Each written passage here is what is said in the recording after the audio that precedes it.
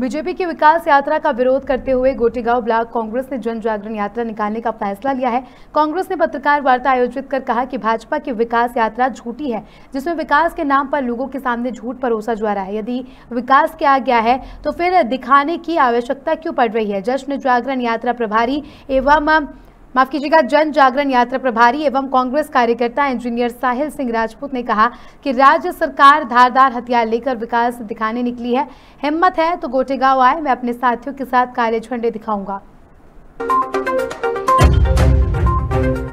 हमारी जन जागरण यात्रा सच्चाई की यात्रा है। भारतीय जनता पार्टी के जो झूठा विकास है, जो गाँव गाँव जाकर बता रहे हैं, और हम ग्रामवासियों को, हर नगरवासियों को जाकर उनको सच्चाई से अवगत करा रहे हैं कि भारतीय जनता पार्टी सिर्फ़ दिखावा कर रही है, झूठी बातें कर रही है, सच्चाई से इनका कोई लेना देना नहीं